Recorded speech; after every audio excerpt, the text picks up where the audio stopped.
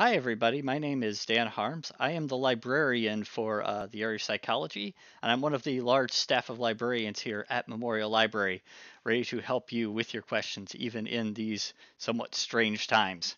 Uh, so, we want to get you started by looking at some um, information about our library resources. If you look over here, you will see a number of modules to run through. Just start at the top and run your way down. And when you're done with all those, go to our virtual escape room down below and uh, try that out and uh, see what you've learned. Okay, have a good day.